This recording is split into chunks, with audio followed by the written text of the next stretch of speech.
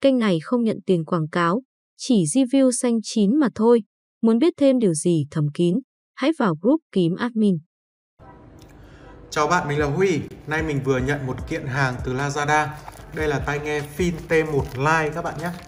Khi mua hàng online, nhận hàng anh em dành một chút thời gian quay video unbox giống như của mình để chẳng may hàng hóa có vấn đề gì thì chúng ta làm việc với Shopee, Lazada cho dễ nhé. Đơn hàng của mình thì vẫn nguyên đai nguyên kiện ở đây. Chúng ta sẽ cùng unbox và cùng nói về à, phim T1 Lite. Đơn hàng này thì ờ, nó ship rất là nhanh các bạn. Mình đặt vào hôm 23 thì hôm nay là 28 mình đã nhận được rồi. Mất 5 ngày nhanh ngoài dự kiến của mình. Có vẻ như là Lazada bây giờ thì ship đã rất là nhanh rồi. Ok, mặc dù có bọc chống sốc này nhưng mà cái hộp của mình thì đã bị móp một chút do quá trình vận chuyển nhưng mà nó vẫn nguyên siêu các bạn thì đây là chiếc tai nghe Fin T1 Lite chuẩn Bluetooth 5.2 bên cạnh này chúng ta sẽ có True Wireless Low Latency cái tai nghe này thì kết nối không phân biệt tai nghe chính tai nghe phụ các bạn nhé. Các bạn có thể sử dụng một bên bất kỳ bên nào có chế độ game mode này. Mặt sau này chúng ta sẽ có các cái thông số thì uh, nói về con T1 Lite này mình đã mượn và trải nghiệm nó cách đây khá lâu rồi. Từ cái hồi mà group chỉ có vài nghìn người ấy. Thì uh, Ờ, nhưng mà mình không quay video review. Thời điểm đó thì giá của nó khá đắt. Mình nhớ không nhầm là khoảng 1 triệu 2 hiện tại giá của nó thì đã rẻ hơn rất là nhiều. Và nhiều anh em đánh giá là nó rất là đáng quan tâm, ở phân khúc nhỏ hơn 1 triệu. Thì cái tai nghe này mình chỉ mua khoảng hơn 600k một chút thôi. Mình sẽ cập nhật các cái đường link ở bên dưới và các cái thông tin chi tiết để các bạn tiện theo dõi giá và săn sale nhé. Về mặt thông số thì mặc dù là nó ra mắt khá là lâu rồi, rất là rẻ nhưng mà các thông số kỹ thuật của nó khá là khủng. Đầu tiên thì nó có chuẩn Bluetooth 5.2 này. Uh, hỗ trợ codec là SBC và AAC các bạn. Uh, thời gian sử dụng pin ấy, thì uh, theo mình tìm hiểu là 6 lần 6 tiếng cho một lần sạc. Tiếp đến thì uh, đốc sạc có thể sạc được cho hai tai nghe thêm khoảng 4 lần nữa. Nó có công nghệ là gì đây? Quicklink 2.0 Open Box and Connect là công nghệ quảng cáo về kết nối nhanh các bạn chuẩn kháng nước ở đây là IPX7 các bạn nhé. Thì uh, lý thuyết chúng ta có thể ngâm sâu trong uh, nước sâu tới 1 mét trong vòng 30 phút với các sản phẩm mà hỗ trợ IPX7 tất nhiên là chúng ta sẽ không mang nó đi ngâm nước nhưng mà đây là một cái chuẩn kháng nước khá là cao với tai nghe True Wireless. Uh, kết hợp với đây là một tai nghe có cái form housing nó nhỏ này dễ fit và giá nó rẻ thì nó rất là phù hợp để các bạn mang đi luyện tập thể dục thể thao này. Nhất là vào mùa hè này chúng ta ra mồ hôi rất là nhiều. Hoặc là tập các cái môn ngoài trời ấy, thì vừa ra mồ hôi nhiều mà mùa này thì rất có khả năng là gặp các cái cơn mưa bất chợt. Thì chúng ta có IPX7 nó sẽ yên tâm hơn này. Low Latency Mode thì uh, theo mình tìm hiểu nó là 70 mili giây các bạn nhé. Hỗ trợ ứng dụng có thể xem được phần trăm pin chỉnh được EQ và thêm uh, một vài thao tác nữa. Chúng ta sẽ cùng săn sale cùng nhau ờ, bóc siêu. Đây là một sản phẩm mà đây có phải là sản phẩm rẻ nhất của Fin không nhỉ? Nó ngang ngang tầm con ờ, uh, Finki nhưng mà nó cũng là thuộc một cái sản phẩm mà giá rẻ nhất của Fin đấy các bạn. Thì chúng ta sẽ có cái hộp giấy mềm chứ không phải là các cái hộp cao cấp. Ngày xưa mình nhớ là mình mượn nhưng mà một lý do nữa mình không quay review đó là thời điểm đó thì giá đắt này cộng thêm với việc mình được cầm đồng thời trên tay các cái sản phẩm khác của Fin thì con T1 Lite này lúc đấy giá nó rẻ nhất. Đâm ra là nhìn nó cũng chán nhất nếu như mà so với các sản phẩm đó. Cho nên mình đã không quay review. Ở đây thì uh, các bạn lưu ý nhé T1 Lite này nó chỉ có bản nội địa thôi. Hiện tại thì chưa có bản quốc tế cho nên là các cái âm báo rồi thì sách hướng dẫn sử dụng nó đều bằng tiếng Trung các bạn nhé đây là chiếc tai nghe của mình. Đó về mặt phụ kiện thì chúng ta sẽ mở bên dưới. Mặc dù có chống sóc nhưng mà anh giao hàng nhanh này có vẻ là quăng quật nó hơi căng. Chúng ta sẽ có ear tip ở đây. Và có cáp sạc tai C. Mình sẽ bỏ các cái phụ kiện này ra để chúng ta cùng xem.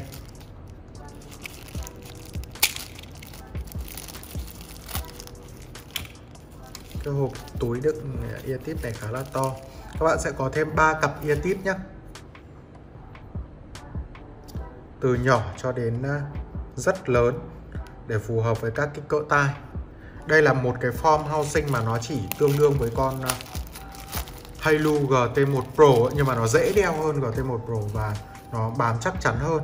Đây là sợi cáp Type-C của Fin tặng kèm T1 Lite các bạn. Độ hoàn thiện cũng rất là ok này.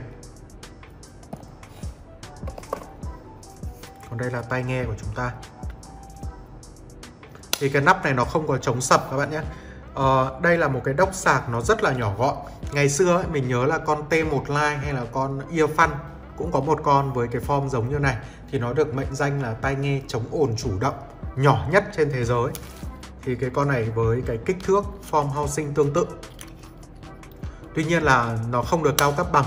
Thứ nhất là nắp đốc sạc này không có uh, cái chống sập nó vẫn có cảm biến mở nắp để kết nối các bạn nhé. Rất là rẻ nhưng mà về cơ bản là đủ tính năng. Tiếp đến thì nó cũng có các cái cây silicon các bạn có thể tìm mua. Nó sẽ sử dụng chung cây silicon với cả uh, mẫu một mẫu của earphone và một mẫu nữa là phim T1 Pro. Mình sẽ kết nối thử. Tai nghe này hỗ trợ cả app các bạn ạ. Thì các bạn có thể tải app trên ờ, uh, CH Play hoặc là trên App Store. Ở đây thì mình sẽ à, xóa thử cái bản app tiếng Trung này của mình đi. Và mình sẽ tải cái phiên bản uh, app tiếng Anh xem sao. Đâu rồi?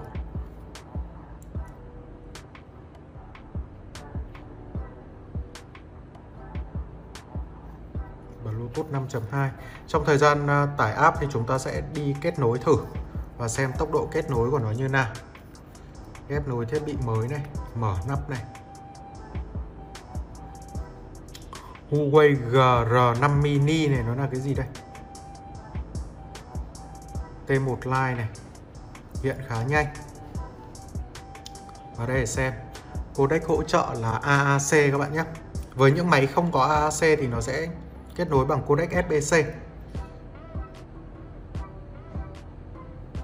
Ok, mình sẽ thử xem cái tốc độ kết nối của nó như nào. Đóng nắp này. Mở nắp này Ok, T1 like, Tốc độ khá nhanh các bạn ạ. Thử lại này.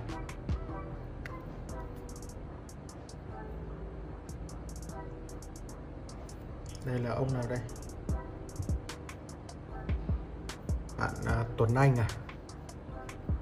Bạn có nhắn tin là Finky có cây silicon giá 50 cành rồi. Đăng lên dụ anh em mua. Để lát nữa mình sẽ đăng lên cho anh em nào cần. Cái cây của Finky. Có rất nhiều anh em hỏi mình là hai con này đang cùng tầm giá thì nên mua chiếc nào. Với mình thì đeo được in ear thì các bạn sẽ chọn ngay con Fin T1 Lite chứ. Hoặc là mua cả hai. Với mình thì mình, theo mình thấy là một combo bao gồm một in ear và một earbud. Nó mới là đầy đủ. Ờ, với tai nghe earbud như này thì mình có thể sử dụng nó ở nhà xem phim xem livestream nghe chuyện uh, hoặc là nghe nhạc ở những cái nơi mà nó ít ồn ào ở nhà chẳng hạn. Thế còn với T1 Line này thì chúng ta có thể nghe nó ở bất cứ đâu. Tuy nhiên thì uh, earbud thì đeo mùa hè này nó sẽ thoáng hơn thoải mái hơn. Kết nối này mở app này. Lần đầu thì nó sẽ bắt cấp một vài quyền.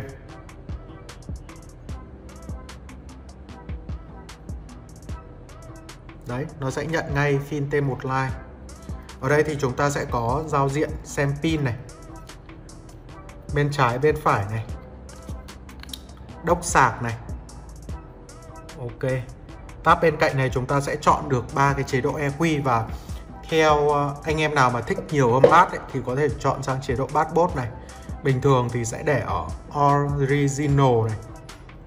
Nó sẽ là chất âm cân bằng nhất.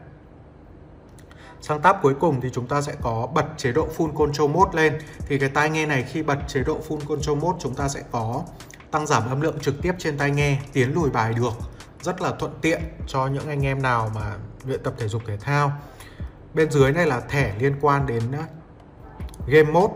Thì um, nếu như sử dụng các bạn có thể bật lên còn không có nhu cầu thì tắt đi. Thì uh, Game Mode của nó sẽ có độ trễ là 70 ms giây các bạn nhé và đây thì chúng ta chọn sang game này. Còn nếu như không dùng thì thường là mình sẽ tắt hẳn đi. Firmware thì sẽ không có. Ok. Đang là bản mới nhất. Cái app của nó rất là đơn giản, không có EQ chỉnh tay, không có các cái bộ EQ sẵn các bạn nhé. Nó chỉ có ba chế độ này thôi. Và thường thì mình sẽ để ở giữa. Cái app này thì với phim T1 Lite giá trị nhất có lẽ là ở cái phần xem pin, cũng như là bật tắt control và bật tắt game mode như vậy là chúng ta đã điểm qua về mặt ứng dụng tốc độ của nó kết nối cũng rất là nhanh các bạn Ok, sau khi mà trải nghiệm lại về mặt cảm giác đeo, về mặt chất âm thì mình xin phép quay trở lại chia sẻ nốt về Fin T1 Lite. À, đầu tiên thì các bạn có thể thấy đây là một cái đốc sạc mà nó bám khá nhiều mồ hôi dầu vân tay. Thì ờ, các bạn sẽ có phương án là bạn nào kỹ tính thì có thể order các cái cây silicon bọc bên ngoài để ờ, hạn chế cái tình trạng này. Còn nếu như anh em nào mà thoải mái hơn thì đây là một cái tai nghe rất là rẻ, các bạn có thể dùng trần, bám mồ hôi dấu vân tay thì chúng ta có thể lau đi. Và đây là một cái đốc sạc rất là nhỏ gọn, cầm trần như này rất là thích. Về ờ, mặt cảm giác đeo thì mình đã đeo đi chạy. Đây là một cái form housing mà dạng hạt đậu nhưng mà nó cho mình cái trải nghiệm đeo nó rất là fit vừa vặn chắc chắn và đủ tốt để có thể luyện tập thể dục thể thao. Ờ, cái form mà đeo thoải mái như này thì uh, dạng hạt đậu này chắc là mình chỉ gặp ở con uh, Samsung Galaxy Buds 2 thôi. Còn các cái hạt đậu khác ấy, thì nếu như đeo thoải mái thì nó sẽ không đủ chắc chắn. Còn nếu như đeo đủ chắc chắn thì nó sẽ không được thoải mái như hai con tai nghe này như là T1 Lite và Galaxy Buds 2 về mặt chất âm thì Fin T1 Lite hỗ trợ hai codec là SBC và AAC không có aptX các bạn nhé. Chuẩn Bluetooth của chúng ta là 5.2 này có cảm biến mở nắp để kết nối này. Thì uh, Fin T1 Lite này nó có giải bát khá là ấn tượng. Với cái phần body mình thấy chắc mạnh mẽ sắp bay thì xuống sâu và có lực.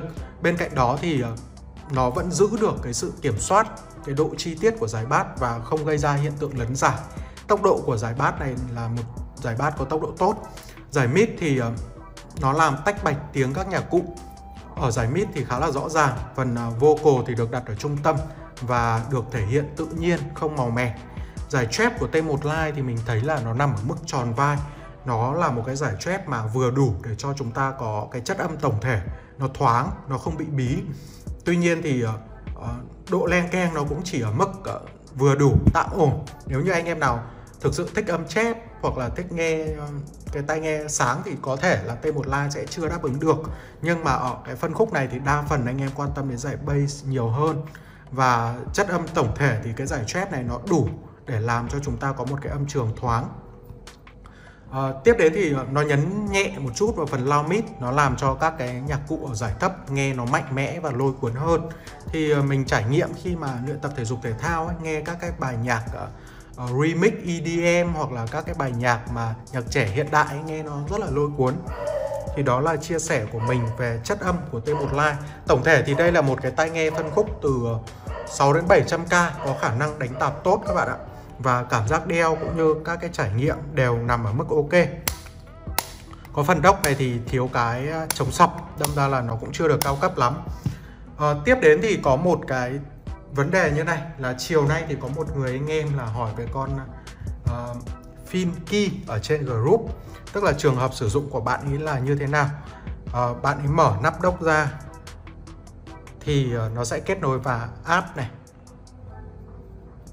Các bạn chờ một lát để nó hiện lên hoặc là có thể do cái điện thoại này của mình.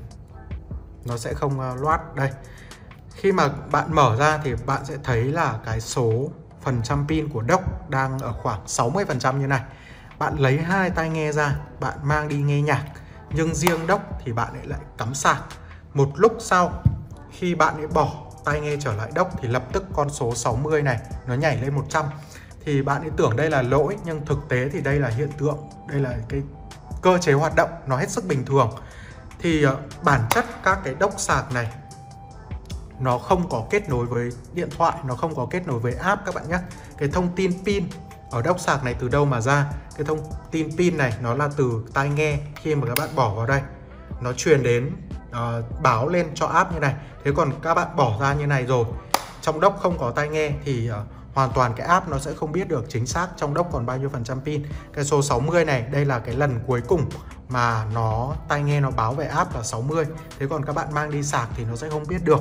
Thì đó là cơ chế hoạt động với pin T1 Lite này cũng tương tự như vậy các bạn nhé.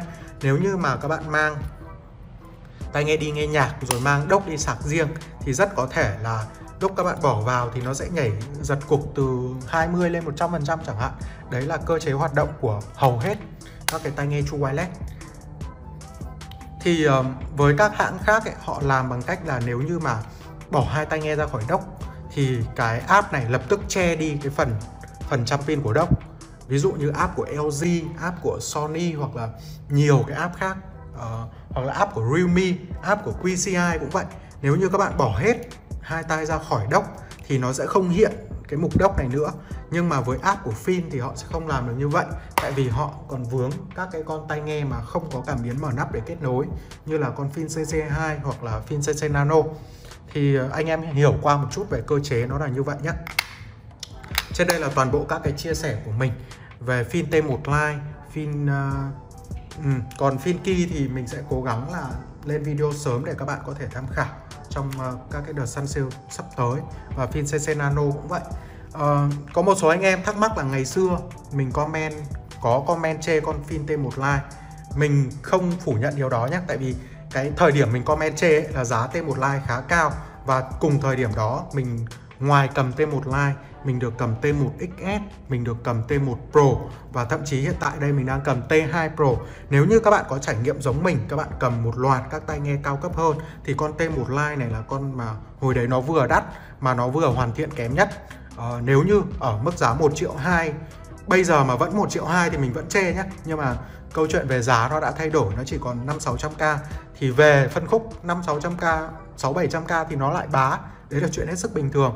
Giống như là uh, Galaxy Buds 2 ấy, ngày xưa 1 triệu 9 anh em chửi rất là kinh đúng không ạ? Nhưng mà 1 triệu 2 1 triệu 3 thì anh em lại mua rất là nhiều.